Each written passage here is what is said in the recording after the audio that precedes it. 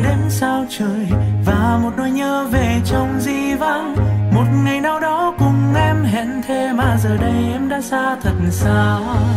Người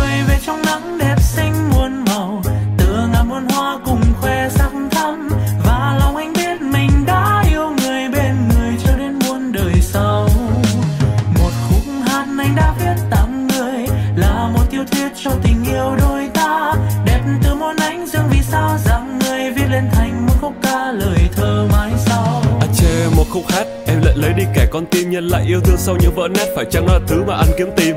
Không như Andre Ryan lần đầu gặp em, anh đã sao xuyến, anh là good boy từ trong ra ngoài. Anh cũng nói không với tai tiếng người về trong nắng, làm anh thấy lắng lo. Tự ti về bản thân nên trong anh có quá nhiều đánh đo. Yêu đôi chỉ đơn thuần là gắn bó, buông lời cây đắng hay mắng mỏ. Yêu là ta cùng cố gắng vì nhau từ những điều rất nhỏ. Đứng sự tinh tế đơn giản nhất, từ một hương mái tóc vương phảng phất, từ sự đồng điệu trong tâm hồn và cả những nỗi niềm thầm kín không thể cất lời. Dù là văn chương nhưng câu chuyện rất đời và tình cảm của anh cũng phải là nhất thời. Mẹ nó chỉ dành riêng cho em, người ơi.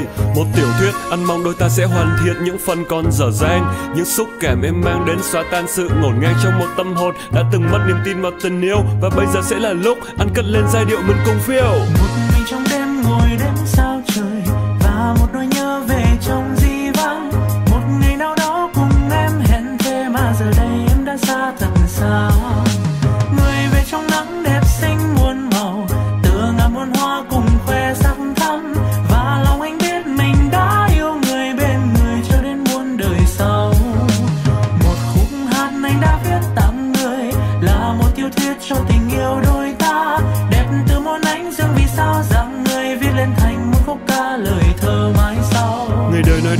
chỉ đẹp khi tình còn dở dang. Sau này sẽ không còn ai bên cạnh. Và nghe những lời anh thở than, căn phòng lạnh lẽo sau bức màn. Đó hoa tươi thắm đã úa tàn em nhẹ bước đi qua, bao ngọt ngào, bao nhiêu cố gắng.